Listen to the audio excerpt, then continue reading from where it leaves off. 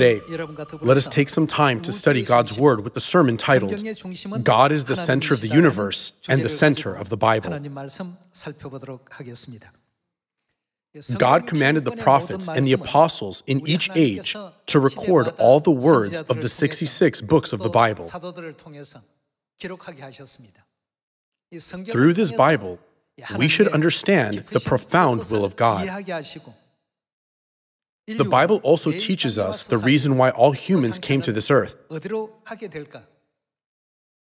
the place we will eventually go, and the fact that when we die, we do not perish on this earth, but return to the world where we came from. Therefore, you and I must be the ones who absolutely believe that God governs and guides our entire lives. Then, who is the center of the Bible? Didn't Jesus say in John chapter 5 verse 39, these are the very scriptures that testify about me, meaning God? All mankind must know God. Through the Bible, doesn't God teach people the correct faith, how to correctly recognize God, how to receive and revere Him, although He comes in a different form, and how to obey and follow all His words? When we think about the premise that God is the center of the Bible and the center of the universe, we may ask ourselves, what will happen to our faith without God? If we claim to have faith, but there is no God at the center of our faith, it would be meaningless. We would not be able to receive salvation or forgiveness of sins. Without God, faith cannot exist. What about a church without God?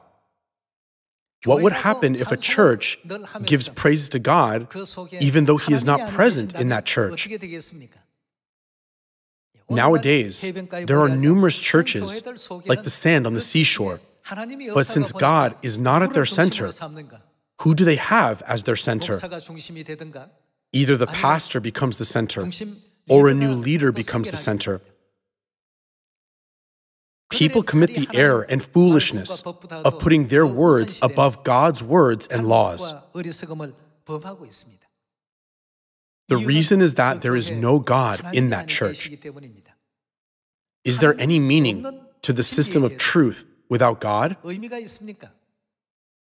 Aren't the truth of the Passover and the Sabbath day so valuable because God exists? That is why we must always put God at the center of our faith. Nowadays, there are many churches around us, but there are many cases where the church fails to carry out its role, mission, and function because God is not there. Let us think about one more thing. Does worship without God, praise without God, or prayer without God have any meaning?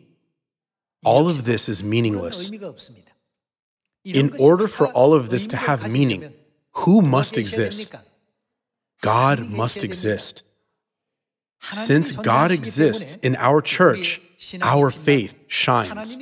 Even though our church may receive hindrances from its surroundings, isn't our church leading mankind to the kingdom of heaven? It is all because God exists in our church. Then, don't we need to know well about the God who is with us? Let's turn to the book of Hosea, chapter 6, verse 6. In Hosea chapter 6, verse 6, it says, For I desire mercy, not sacrifice, an acknowledgement of God rather than burnt offerings.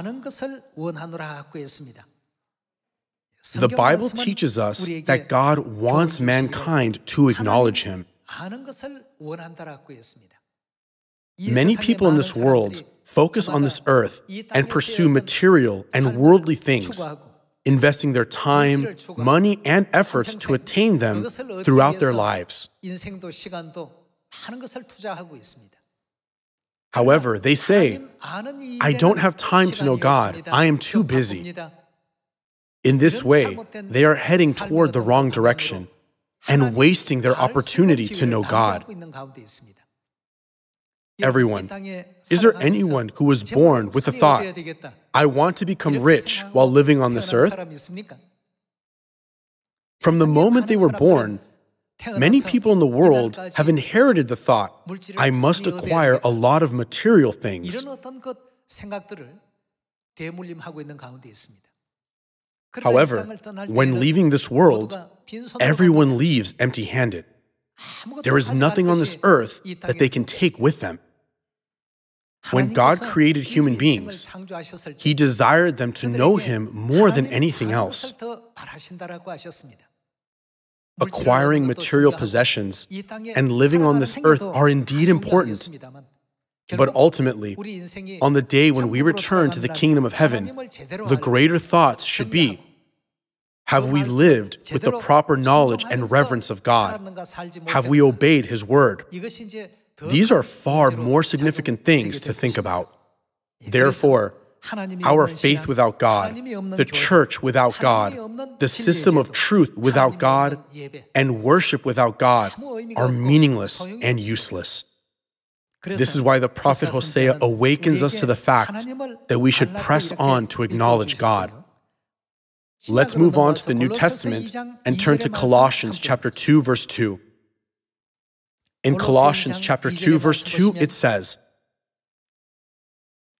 "My goal is that they may be encouraged in heart and united in love." so that they may have the full riches of complete understanding, in order that they may know whom does the Bible say we should know? We should know Christ, who is the mystery of God, that they may know the mystery of God, namely Christ. Verse 3 In whom are hidden all the treasures of wisdom and knowledge. In Christ are hidden the answers to these questions. Where will all humans go when they leave this world? Will they vanish as a handful of dust from this earth? Or is there something else that will bring them to a new starting point? Where are all these treasures of wisdom and knowledge hidden? The Bible teaches us that they are all hidden in Christ, who is the mystery of God. Today, the number of the people who claim to believe in God is as many as the sand on the seashore. Even though many people believe in God, how unfortunate would it be if no one acknowledges and believes in God correctly? Therefore, what does the Bible say about the mystery of God? To realize Christ is to know the mystery of God. This is what God wants for mankind. At the time of Jesus' first coming, the Jews believed in God and claimed to know God and the Bible, but they failed to truly recognize Christ who came to this earth. In the age of the Holy Spirit, too, there are numerous churches, and some boast about having read the Bible 500 times or even a thousand times. Even though they have read the Bible several times, they fail to realize the message that God is trying to deliver to mankind. That is why they do not receive Christ who came a second time, nor do they find the truth about God the Mother, the bride. At Jesus' first coming, many people who claimed to believe in God did not fully recognize and receive God in the flesh. Likewise, people today do not recognize Christ Ahnsahnghong, who has come to this earth a second time in the flesh, and New Jerusalem, Heavenly Mother. There is a reason people cannot fully understand the Spirit and the bride. Let us find the answer through the Bible. Let us turn to 2 Corinthians chapter 4. Let's take a look at 2 Corinthians chapter 4 verse 3. And even if our gospel is veiled, it is veiled to those who are perishing, the God of this age. Whom does the God of this age refer to? It refers to Satan, who is described as the ruler of the kingdom of the air. The God of this age has, what has he done? Blinded the minds of unbelievers. It says that Satan has blinded people's minds. Satan has blinded people's minds so that people cannot distinguish truth from falsehood or see the light that displays the glory of Christ. How can a man become God? If God comes, he must appear in a great country like the United States. Why would he come to such a small and poor country?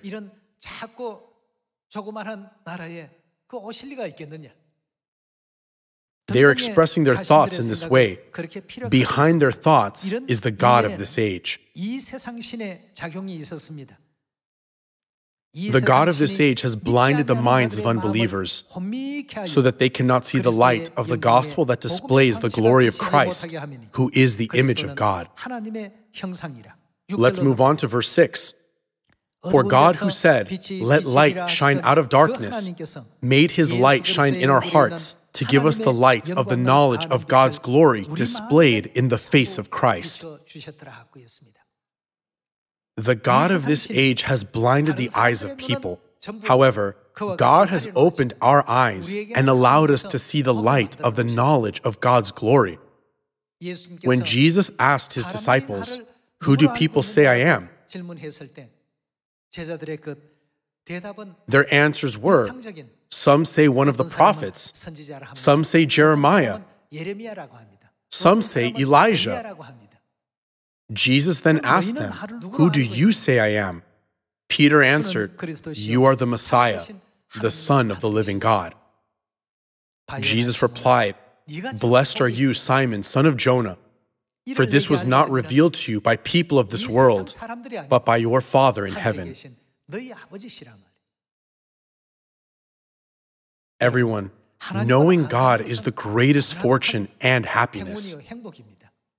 We must have the correct understanding about God, who is the center of the universe and the center of the Bible. Isn't this the only way for us to be qualified to enter the eternal world that God has opened for us? This is why our enemy, the devil, who is the God of this age, always blinds people's minds. How can the son of a carpenter be God? How can this man recite scripture when he has never been taught? With such various words, they mocked, ridiculed, and slandered Jesus, causing people's minds to become blind. In spite of such situations, God taught apostles Peter, John, and Paul the correct acknowledgement of God. Likewise, God made his light shine upon us to give us the glorious light of the knowledge of Heavenly Father and Heavenly Mother. Isn't it why we can confidently say, Father Ahnsahnghong is our God, and New Jerusalem, Heavenly Mother, is our spiritual mother? All the people of the world read the same 66 books of the Bible. However, the God of this age has covered the whole world with darkness. When we go back to the time of Jesus' first coming 2,000 years ago, there were many religious leaders who claimed to believe in God. They had all the secular power, authority, and influence over the church. Despite having all these things, what did they do when God came to this earth? They failed to recognize him. They crucified God, whom they had worshipped. They spat on him. They picked up stones and attempted to attack him. They uttered all kinds of insults at him without hesitation.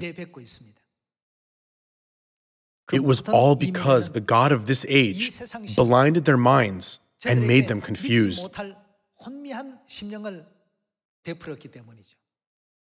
However, God made his light shine upon us to give us the light of the knowledge of God.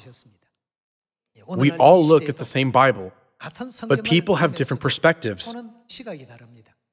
This is because they learn from human knowledge. However, what about us? It is written in the book of Isaiah that God will teach us. Jesus says, Everyone who has heard the Father and learned from him comes to me. Also, among the prophecies of the prophet Micah, what will God do in the last days according to Micah chapter 4? He will teach us his ways. Who made his light shine upon us to give us the light of the knowledge of God? Didn't God himself come to this earth and make his light shine upon us? Didn't he teach us the truth about the bride of the Spirit, saying, I follow mother? Isn't it a great joy and blessing that we have received the light of the knowledge of God? Then, what kind of future was waiting for those who claimed to believe in God 2,000 years ago? Let's take a look at the Gospel of Matthew, chapter 23. In Matthew chapter 23, verse 13, Jesus says, Woe to you, teachers of the law and Pharisees, you hypocrites! You shut the door of the kingdom of heaven in people's faces. You yourselves do not enter, nor will you let those enter who are trying to. Jesus himself gave this judgment directly to the Pharisees and the teachers of the law at that time. Let's move on to verse 33. You snakes, you brood of vipers, how will you escape being condemned to hell? On the outside, they had an impressive temple, secular power, and even religious authority all at once. However, in the eyes of Jesus, they appeared as nothing more than a brood of vipers.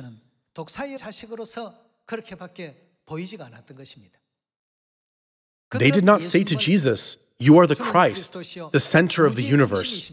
You are the center of our faith and the center of the Bible. What good would it be for them to be high priests if they do not have the knowledge and wisdom to know God? Back in the Chosun dynasty in Korea, there existed the secret royal inspector. The royal inspectors discerned whether the governor was carrying out the king's will, doing benevolence or malevolence to the people. The royal inspectors were secretly dispatched for this reason. They had the authority to impose immediate punishments and conduct judgment on the spot. They enforced the king's power. When Jesus came to this earth in the flesh, he also gave a verdict directly by saying, All these people will be condemned to hell. At that time, numerous religious leaders turned away from Jesus. But apostles Peter, John, and Paul recognized Jesus and received him. Even at the moment of their deaths, they proclaimed, The center of the universe is God and the center of the Bible is God. That God appeared on this earth in the flesh. Although others do not believe in God and the world does not follow the truth of the Bible, should we resemble their actions? Those who will be saved must respect and follow the teachings of the Bible. We must obey all the teachings of the 66 books of the Bible never forgetting that they are the way of truth that God has given us. Let us take a look at this age. According to Hebrews chapter 9, how does it say God will come to bring salvation to those who are waiting for him? It says that he will come a second time in the same form as his first coming 2,000 years ago. God informed us that he would not come with the name Jesus, but with a new name, to the easternmost country on earth. The prophets also explained about Christ who will come in the last days. Let's see the book of Hosea, chapter 3, verse 5. Hosea chapter 3, verse 5 says, Afterward, the Israelites will return and seek. Whom will they seek? the Lord their God and David their king. They will come trembling to the Lord and to David and to his blessings in the last days. King David died about 250 years before the prophet Hosea wrote this book of prophecy. Even though he is no longer alive on this earth, whom will they seek? It is written, they will seek David and come trembling to God and to his blessings in the last days. Then, this David is not the physical David. Let's move on to the Gospel of Luke, chapter 1, to find out the prophetical David. In Luke chapter 1, verse 31, it says, You will conceive and give birth to a son, and you are to call him Jesus. He will be great and will be called the Son of the Most High. The Lord will give him what? The throne of his father David. Whom does he refer to? It refers to Jesus. God will give the throne of David to Jesus. Let's see verse 33. And he will reign over Jacob's descendants forever. His kingdom will never end. David, who was prophesied by the prophet Hosea, represents Jesus. Jesus was given the throne of David. It is written, He will reign over Jacob's descendants forever. However, as you are well aware, at Jesus' first coming, he came to this earth, was baptized at the age of 30, led the kingdom of the gospel for three years, and ascended to heaven.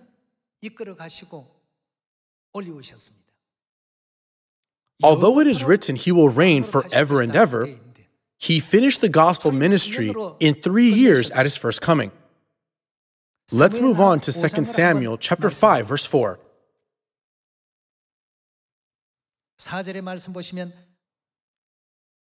David was 30 years old when he became king, and he reigned. How long did he reign on his throne? 40 years. In Luke chapter 1 verse 31 it is written, God will give him the throne of his father David. Then Jesus must be anointed at the age of 30 to reign over his throne. Only when he reigned for 40 years after becoming king can we say that he fulfilled the prophecy of David's throne. Let's take a close look at the life of Jesus.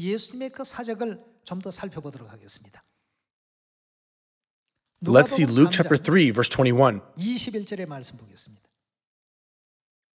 When all the people were being baptized, Jesus was baptized too.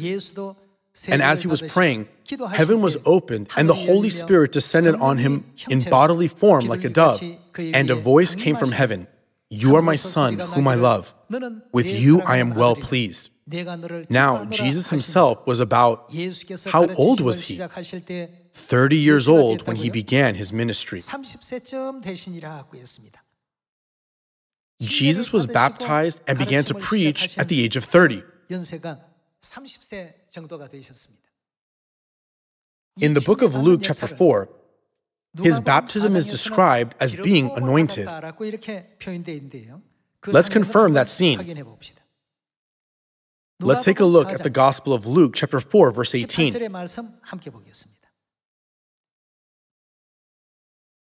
The Spirit of the Lord is on me because He has, what has He done? Anointed me to proclaim good news to the poor. He has sent me to proclaim freedom for the prisoners and recovery of sight for the blind, to set the oppressed free, to proclaim the year of the Lord's favor. The writer of the Gospel of Luke describes Jesus being baptized and preaching the gospel as being anointed to proclaim the gospel. Then, doesn't the anointment take place at the enthronement ceremony of the king or the high priest? Jesus was anointed at the age of 30. In other words, he was baptized. Therefore, just as David became king at the age of 30 and reigned for 40 years, Jesus' reign had to last for 40 years. However, Jesus' ministry came to an end after three and a half years. In order for Jesus to fulfill the prophecy of David's throne, 37 more years are needed. How can this prophecy be fulfilled completely? Jesus must come to this earth a second time in the flesh. Does God reign in the Spirit only for 40 years? No, He doesn't. Isn't God the one who will reign forever and ever? The prophecy that God will reign for 37 years or three years is to be fulfilled while He is in the flesh. Therefore, He came a second time to fulfill the remaining prophecy of David. When David reigned over Israel, there was a law for the king to govern over the people with. Likewise, Christ, who came to this earth as the spiritual David, needs the law of life to reign and govern the spiritual heavenly people. What is that law?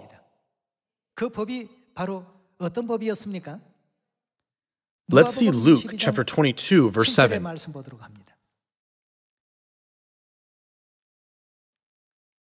Then came the day of unleavened bread, on which the Passover lamb had to be sacrificed. Jesus sent Peter and John, saying, Go and make preparations for us to eat the Passover. The scene in chapter 22 is about the Passover. Let's move on to verse 19. And he took bread, gave thanks, and broke it, and gave it to them, saying, This is my body given for you. Do this in remembrance of me. In the same way, after the supper, he took the cup, saying, This cup what is this cup? The new covenant in my blood, which is poured out for you. Concerning the new covenant, God has already established it as the law to govern over his people with through the prophecy in Jeremiah chapter 31. Wouldn't it be good to confirm that scene as well? Let's move on to Jeremiah chapter 31, verse 31. The days are coming, declares the Lord, when I will make a new covenant with the people of Israel and with the people of Judah. What did Jesus say in Luke chapter 22, verse 20? This cup is the new covenant in my blood, which is poured out for you. The prophet Jeremiah prophesied about the new covenant, and Jesus fulfilled that prophecy. Let's move on to verse 33. This is the covenant I will make with the people of Israel after that time, declares the Lord. I will put, whose law will God put? My law. Just as David had a law when he reigned over the Israelites, God established the law of the new covenant between him and his people and called it my law. I will put my law in their minds and write it on their hearts. I will be, who will God be? Their God, and they will be my people. There must be a law between Christ, who is prophesied as David, and his people. The prophet Jeremiah teaches us that it is the law of the new covenant. Christ led the kingdom of the gospel for three years and reigned over his people with the law of the new covenant at his first coming. Then what about his second coming? How will he reign over his people for the remaining 37 years? Of course, he will reign with the law of the new covenant.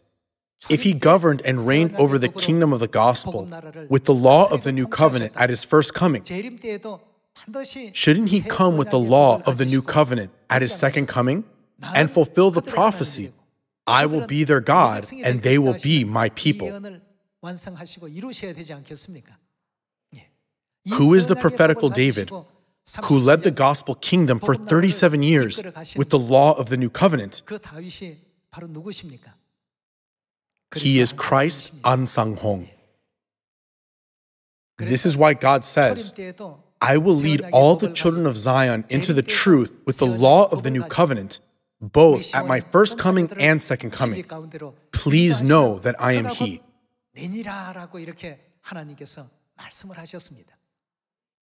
Therefore, what did the prophet Isaiah write in Isaiah chapter 25? What should we do when we meet the one who swallows up death forever with aged wine, that is, the wine of the new covenant? Who is he? Surely he is our God We trusted in him, and he will save us. How will he save us? With the decrees, regulations, and laws of the new covenant. Heavenly Father Ahnsahnghong is our Christ, who led the entire work of the gospel for 37 years with the law of the truth of the new covenant. The Sabbath day, baptism, the Passover, the seven feasts and three times, and the veil regulations. No one could restore the truth of the new covenant of the early church. Only when God comes to this earth can everything be restored and made whole. Not just anyone can bring the law of the new covenant to this earth. The God of this age has blinded the minds of everyone. Even though God came to this earth, people cannot receive him properly.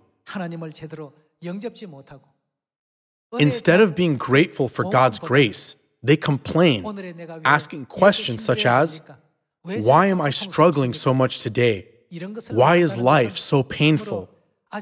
This can only be seen as the result of the light of the knowledge of God's glory not yet being displayed enough on them. The Bible and the prophets have brightly shown the light of the knowledge of God in our hearts. Aren't we now all coming towards the truth of the new covenant Passover that was once destroyed and ruined? Aren't we fully observing the Sabbath day of the new covenant? Some people ask, doesn't the Seventh day Adventist Church keep the Sabbath day? However, their Sabbath day starts from Friday. It is not the complete Sabbath day. God restored the truth of the new covenant, walked the life of David completely, and reigned over the kingdom of the gospel of the new covenant. Let us remember our Heavenly Father who came with the name Jesus at his first coming and with the new name Christ Ahnsahnghong at his second coming and reigned over the gospel kingdom.